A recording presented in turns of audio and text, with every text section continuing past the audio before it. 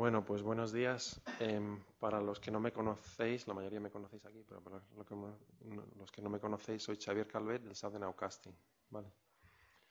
Bueno, eh, hoy tengo el honor y el placer de presentar a Dr. Mark Brumhall, del, que es un científico de teledetección. Trabaja en, como estáis viendo en la presentación, en el Bureau of Meteorology, que es el servicio meteorológico australiano Trabaja en el equipo de aplicaciones de satélite, en el programa de innovación y ciencia y está trabajando en mejorar las capacidades del satélite Himawari. Himawari es el equivalente de MSG, pero está colocado sobre el Océano Pacífico. Es un satélite japonés geoestacionario. Em, es una generación más allá del MSG, sería el equivalente al futuro MTG nuestro pero ya está en órbita y ya está funcionando desde hace, no sé si, two years, I think, Himawari. The latest Himawari? Uh, since 2015. Sí, pues eso, un par de años más o menos lleva en funcionamiento. Eh, fue el primero de la serie de nueva generación que se lanzó al espacio, ¿eh? el Himawari, el japonés. Bueno, entonces, como veis, eh, trabaja en, o sea, es el equivalente nuestro del Southern Outcasting, pero en Australia. Entonces, pues hemos empezado una cooperación en el producto de precipitación y por eso está aquí. Y aprovechamos que está aquí para que dé una introducción al, al Bureau of Meteorology de Australia. Um, thank you. Uh, Uh, I just have to apologise for my croaky voice. Uh, it's a gift from our friends in Italy. Um, not very well appreciated, I'm, I'm afraid. Um, as Xavier has said, I'm from the Bureau of Meteorology uh, in Melbourne. Uh, we refer to ourselves as the BOM, uh, B-O-M. Uh, and um, well, let's continue. So what I wanted to do today was um, now, does anyone here actually know much about Australia? No? Okay. So I'll give you a little bit of uh, cultural exchange, um, tell you a little bit about Australia.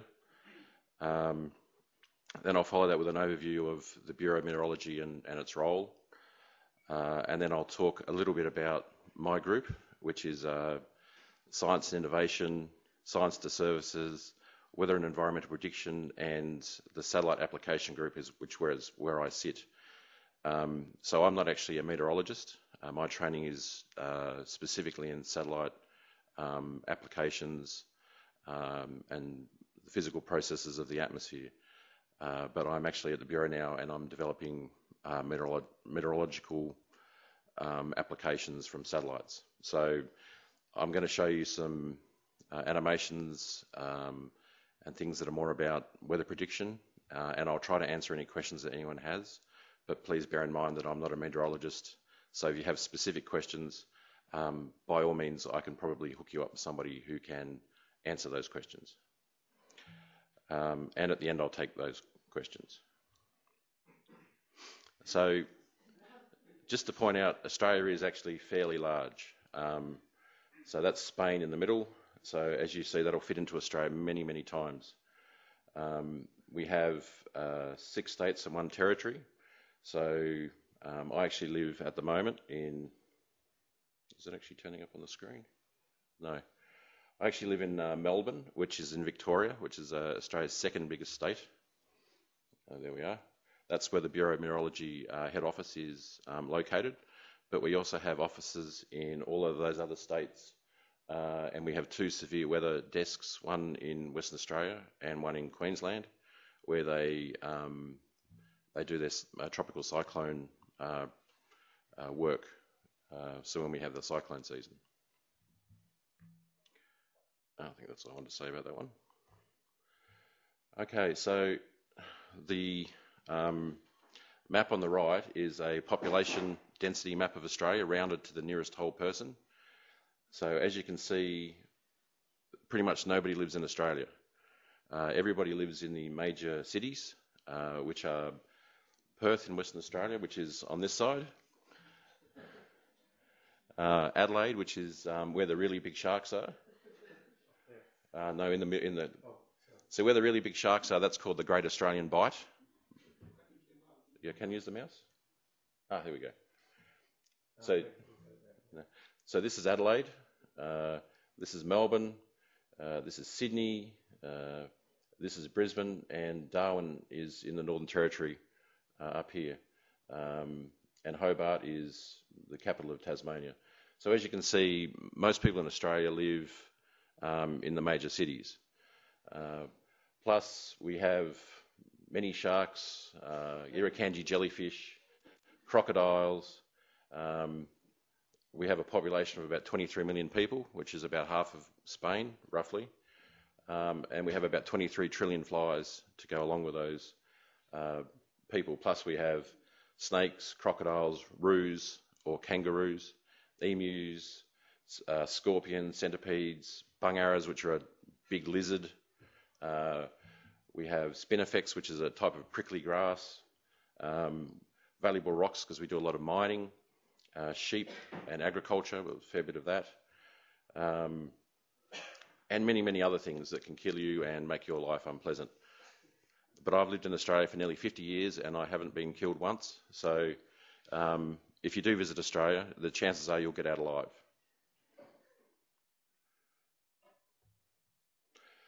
So the peoples of Australia, uh, the first peoples of Australia, the indigenous uh, population, has been in Australia for at least 40,000 years, possibly longer. Um, the map you see there on the uh, left is a map of the languages spoken by the indigenous peoples. Uh, as you can see, there's many, many different languages, and um, an indigenous uh, group from maybe one valley wouldn't be able to converse with an indigenous person from another valley because their languages were quite um, different, and they, even though they were nomadic, they didn't actually roam too far from their home range. Uh, unfortunately, as in most countries where there's an indigenous population uh, and Europeans move in, their culture is slowly disappearing, their languages are slowly disappearing, um, which is a tiny bit of a problem. Uh, so Europeans have been in Australia for, well, it says 1606 was probably the first contact with Australia. Um, and the first, what we call the first fleet, which was made up of um, boats from England, that landed in Sydney in uh, 1788. So that's when we um, celebrate our uh, uh, Australia Day, which is on that date, which is the 27th of uh, January. Um, so there was actually a, a bunch of different colonies, um, which uh, were uh, mostly landed by the by the English.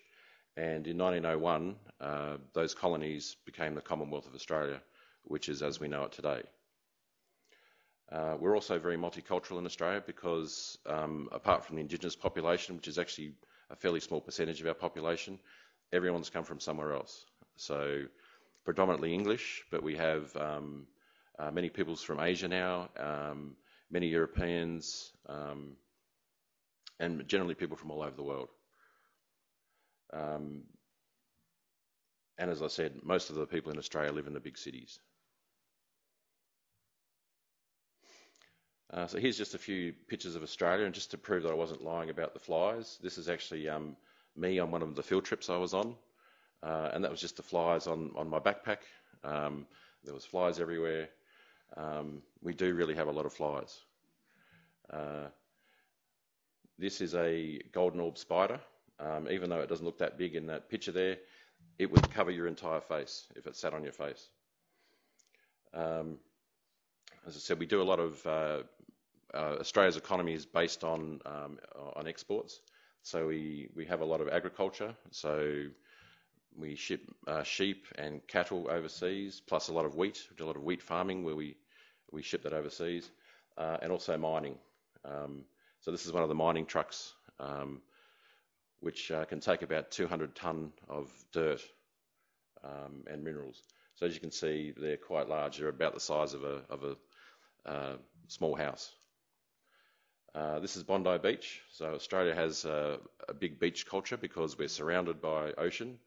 Uh, in fact, I saw something the other day, whereas if, if you if you visit a new beach in Australia every day, you'd, well, you'd never be able to do it. You'd die before you had a chance to visit every beach.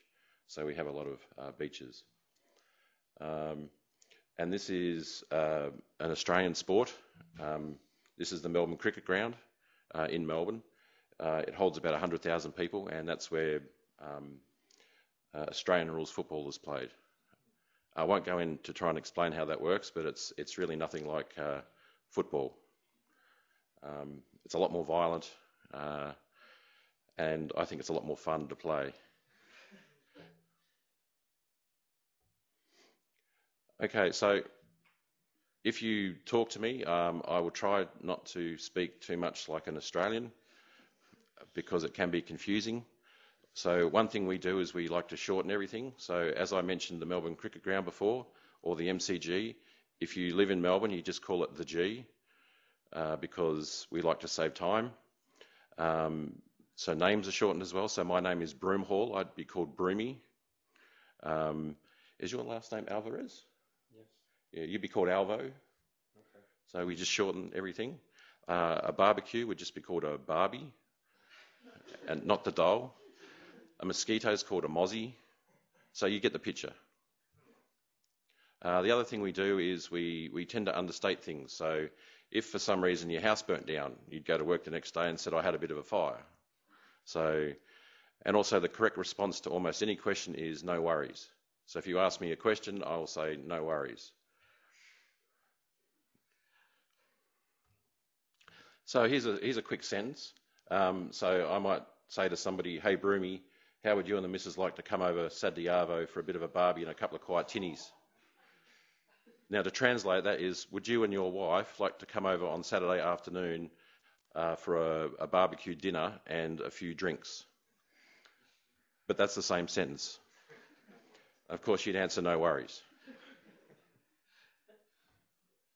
All right, enough of the cultural uh, references, and I'll um, give you a little bit of um, a background on what the Bureau of Meteorology in Melbourne does. So uh, probably like AEMET, we're a 24/7 uh, service, so we operate at all times.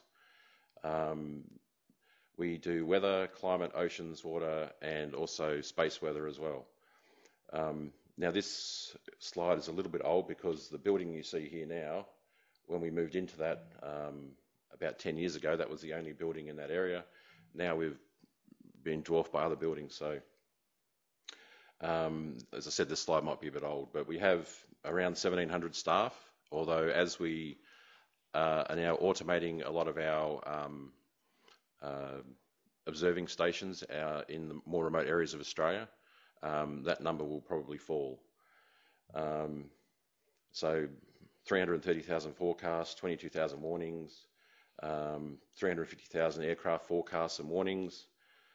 We have a very large observing network, um, and we have a budget of 320 million and assets of 500 million, and we're also part of the WMO.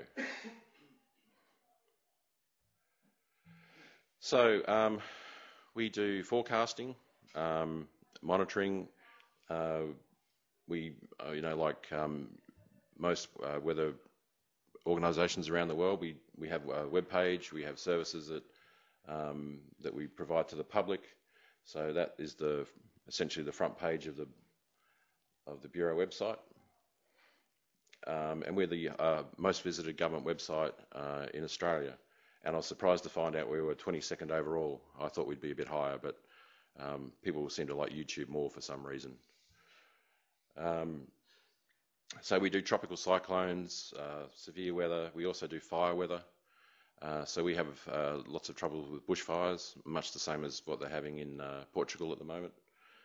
Uh, we we have tsunami warning systems. Uh, we do flood forecasting and flood warnings, volcanic ash, heat waves. Um, we keep the climate records for the for the country, and I just threw that one up called asthma weather because that's something that was quite new, and I'll have a little bit of a talk about that later.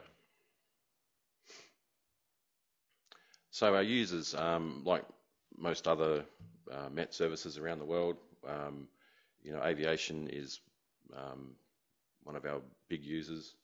Uh, so agriculture as well, defence. So we do all the um, forecasting for defence. I know, like in Italy, they have their own weather service in the in the military, uh, but we do that for them. Um, the energy sector, planning and environment, uh, health, so things like heat waves and this asthma weather I will be talking about later. Um, we do all the water accounting uh, as well, um, and many other things. Uh, so basically in Australia, if there's a forecast of some sort, generally we do it. So the observing network, we have um, um, point sources. So we have uh, rain gauges, we have uh, balloon launchers, um, uh, we have radar, we have lightning detectors, and we also uh, use satellites quite um, quite extensively uh, because, as you saw before, we have a very uh, small population and a very large area, so it's not possible to have all of that monitored. So satellites are the only way. Uh, so this is the um, upper air network, so where we launch the balloons from. Um, so 16 radiosondes, 16 balloon launches. Uh, uh, we do ha also have um, people in Antarctica full time. Uh, so we have observers and forecasters in Antarctica. Uh, we also have 11 wind profilers. So although the coverage is nationwide, it's not really very um, it's not very dense. So very very small point uh, forecasts. Uh, so this is the uh, radar network. Now, as you can see, all of the radars are around the coast because that's where everybody lives. Um, while not many people live up here, uh, this is where all the infrastructure for um, for mining and gas, uh, a lot of exports uh, actually move out of the top part of the country. So there's a radar network there protecting uh, all the expensive infrastructure. Um, here there's three new radars which are going in. This is called the wheat belt of Western Australia, and as it says, um, a lot of wheat is produced in there. And this one's actually funded by the Western Australian government. So the, there was some political um, uh, moves by the farmers in West Australia, and the West Australian government have funded three new um, radars which we are now running.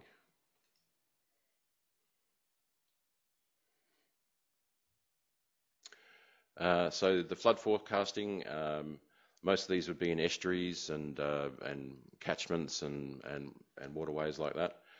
Uh, many rivers in Australia are, are not permanent, so you'll you'll you'll see something called uh, the Ashburton River or or something like that. It's not really a river 95% of the time. It's actually just a dry creek bed. Um, but when it rains, it floods almost immediately. So um, we have flood forecasters um, who whose job is to actually forecast uh, um, these sort of flooding events because they can happen quite quickly.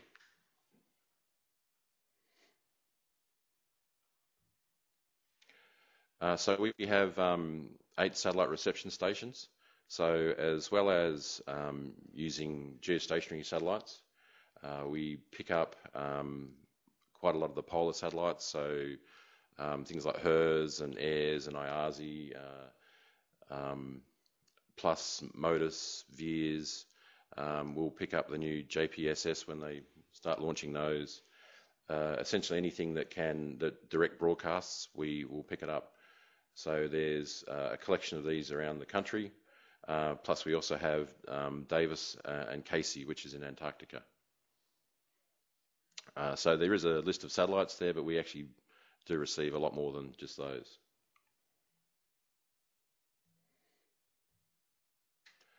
Uh, we also have a marine uh, observing network. So um, we have uh, information that comes from boats. We also have information that comes from from buoys, which are deployed um, around the place. Uh, some by us, some by other people.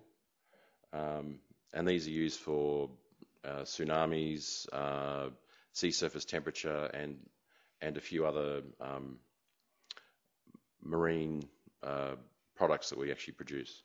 So one of the projects that we are involved in is a thing called eReefs, where we um, look after the health of the uh, Great Barrier Reef. So there's problems with the reef dying off because of increase in temperature because coral is very sensitive to changes in temperature, uh, and also predation by a thing called the uh, crown of thorns starfish. Uh, so water quality, sea surface temperature is something we provide um, to this program called eReefs.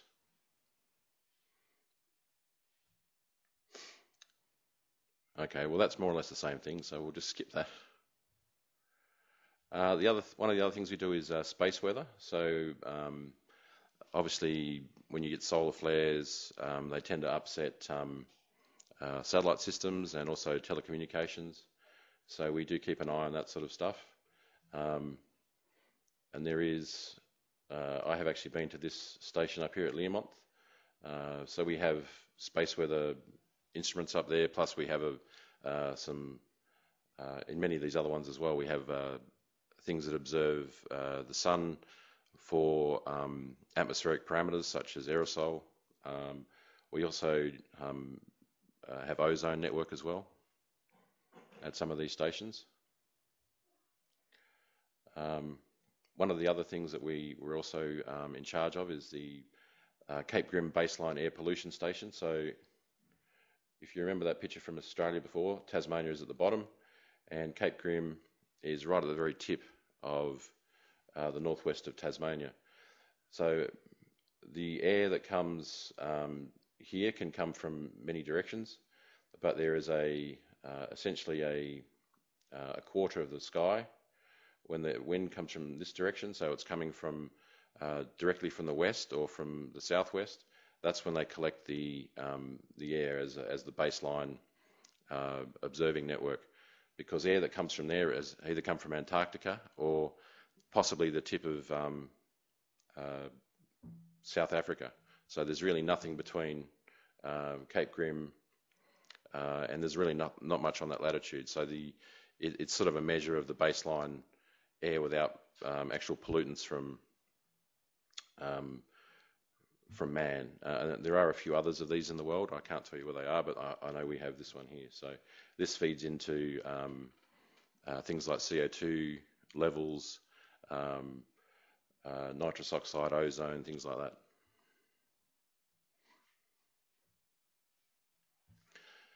Now, uh, as I said, I'm not a meteorologist, so I'm not really um, 100% on the models that we have running in Australia, but these are the essentially the um, zones that they run over. So all of our models are called Access, uh, and this is based on uh, code from the UK Met Office, but we've adapted it to work uh, in Australia. So we have all these um, different uh, zones called Access R or Access C or access TC or something of, of that nature. Um, and I can't tell you how often these run. Uh, I do know that the the um, things like access TC probably run more frequently when we're looking at tropical cyclones, or um, if there's for some reason a natural disaster that, that, they need to keep an eye on, they'll run these models uh, more frequently as I said, if you have uh, questions about this, I can probably put you in touch with somebody who can answer them. Uh, so the stuff I'm going to talk about now is more about what my um, group, uh, my research group at the Bureau does. Um, so high impact weather applications. Um, so calibrated thunder, tropical cyclone ensembles and uh, wind and waves, uh, smoke and air quality forecasts, and thunder asthma, thunderstorm asthma, which is more to do with public health.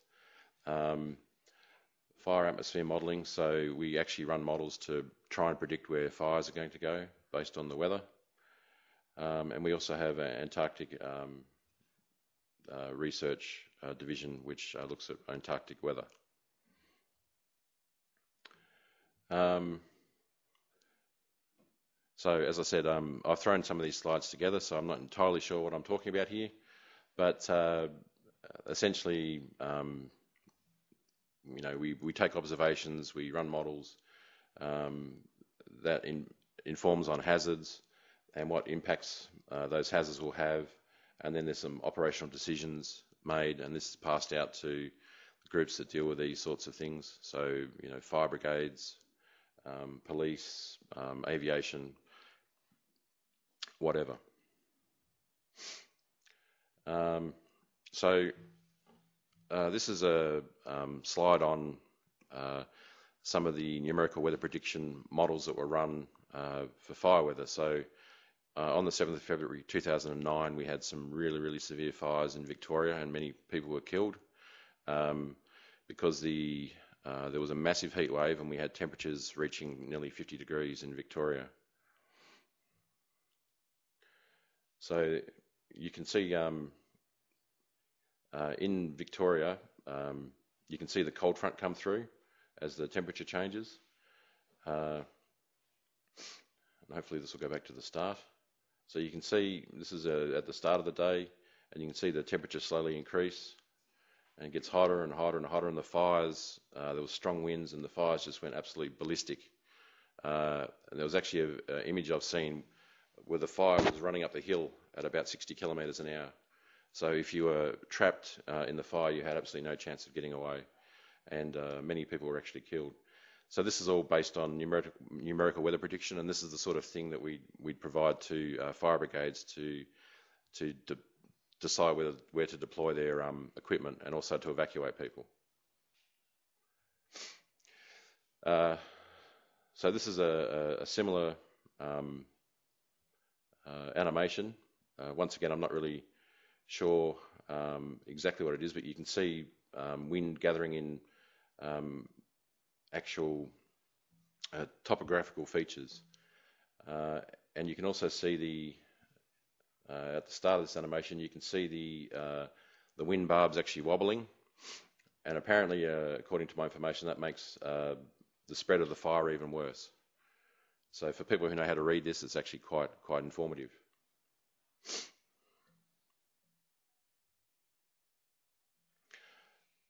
Okay, this is something that happened uh, last year. We had um, we had uh, a, bunch of so nine people all up died from this um, thunderstorm asthma event. Uh, so the weather conditions actually whipped up pollen and dust uh, up into the up into a storm system. The storm system actually dispersed this, and there was many many cases of asthma. Um, and there just wasn't enough ambulances and and and uh, emergency medical people to deal with the outbreak of asthma. Um, people were actually dying on their doorstep waiting for um, ambulances to turn up. So this is something that nobody was really aware of that there was such a thing as thunderstorm asthma, but apparently it is a um, it is something that we're now researching. So um, this is the hypothesized mechanism where the outflow actually whips up the um, the pollen and the dust, and it's actually sucked up into the thunderstorm, and then it disperses the the asthma, asthma-causing uh, agents over a wide area, uh, and you get these big outbreaks of asthma, and um, there's no one to deal with it. So if this is something that we can um, predict, then we'll have more. Um, we'll be able to inform medical uh, people to be ready for an influx of asthma patients. Okay, so this is uh, some images from Himawari, um, the advanced Himawari imager, which is the um, the new satellite system that uh, JMA run.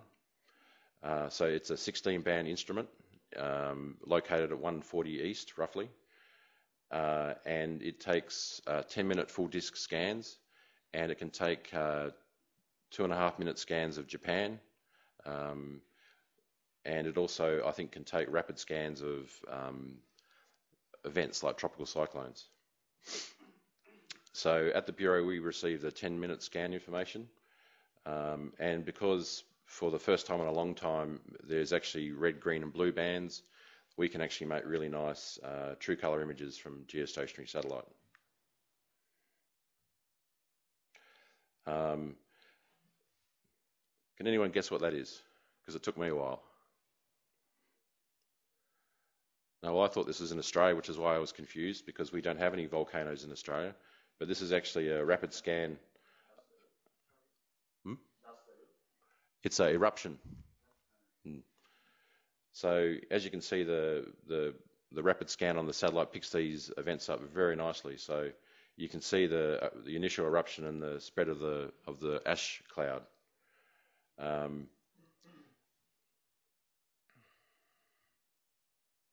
all right, how about this one?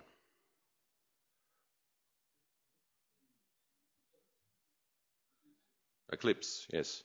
So this is an eclipse that happened uh, last year.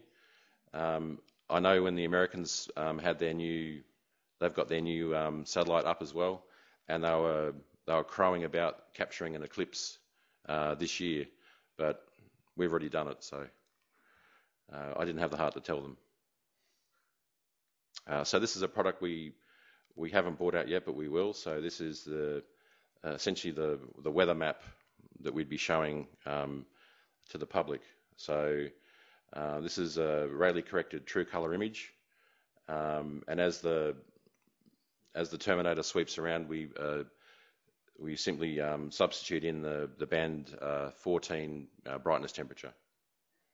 So you get a seamless um, weather picture.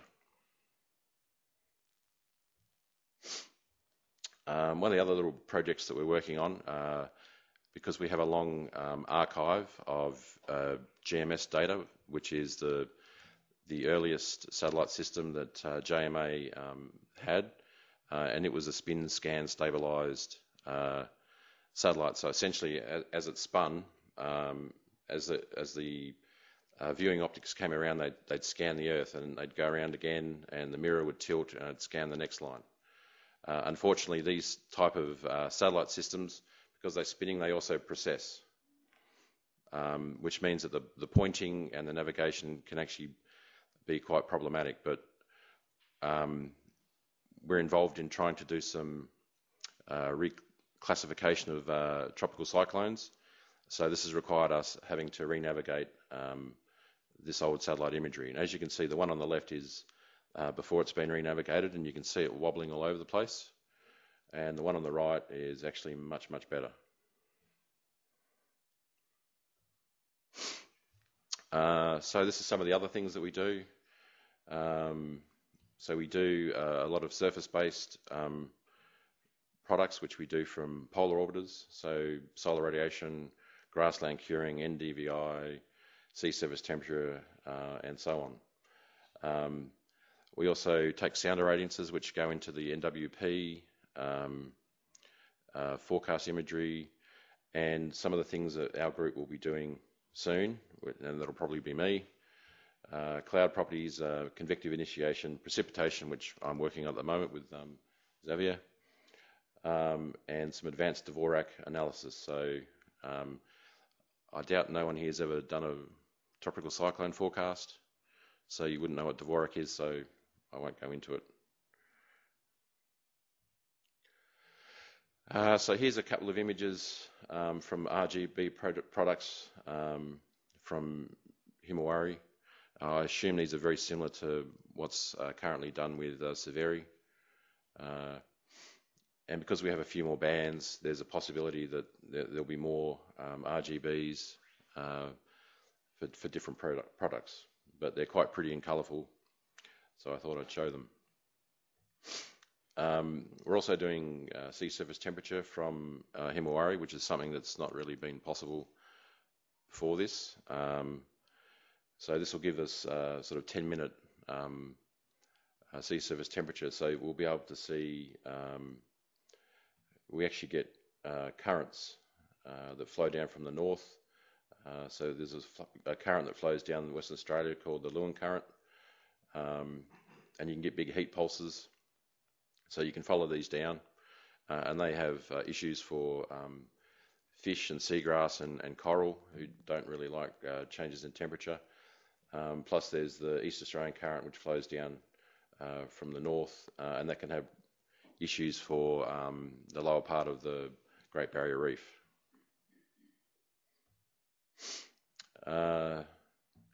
Uh, so we do solar radiation forecasts.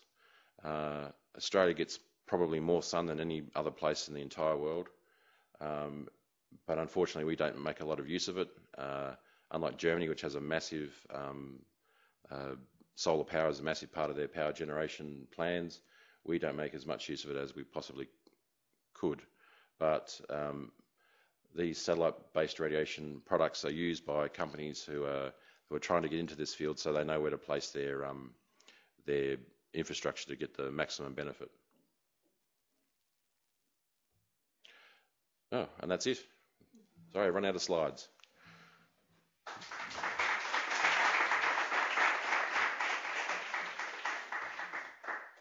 So, uh, does anyone have any questions? Stun them into silence. Preguntas, tengo aquí el micrófono preparado.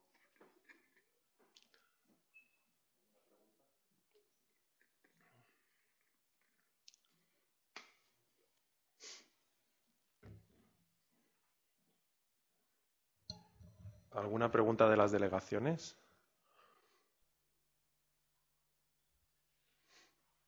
No. Bueno, pues Thank you, Mark, for giving this nice talk. Sí. Ah.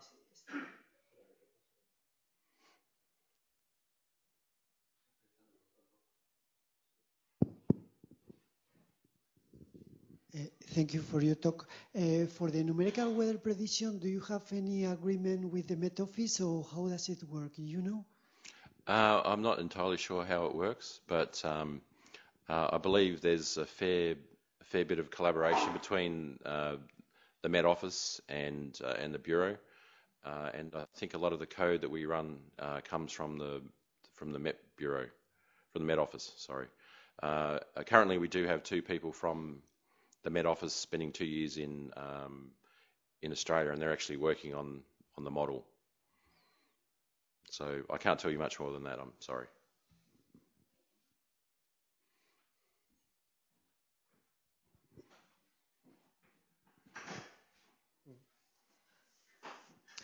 Thank you for your talk. Uh, uh, You have talked uh, before uh, about the automatization of the workforce, and then it is uh, falling. Uh, Which parts of the Bureau of Meteorology are becoming more automatized now? Uh, well, we had a we had a, a large observing network, so they used to um, launch the balloons. They they take the temperature. They do the you know the octas in the sky. Um, they'd uh, you know they take all the observations. So those stations which were where there was a lot of manual um, observations taken, uh, they're now being replaced with um, with automated uh, machines. Uh, so they run until they fail, and then people will come in and fix it. Uh-huh. And is it happening too in airports or No, on- no. not in airports? Only in the in uh, yeah synop, sign up uh, Yeah. stations. So yeah. So essentially, the, every state has its own um, office. So, and there are maybe a couple of large regional centres. So all of the observers who are in these remoter um, regions, they're all being moved centrally. So now, if there's an issue, they, they will go back to the station and repair it. Um, but they're all based um, uh, more centrally now. Mhm. Thank you.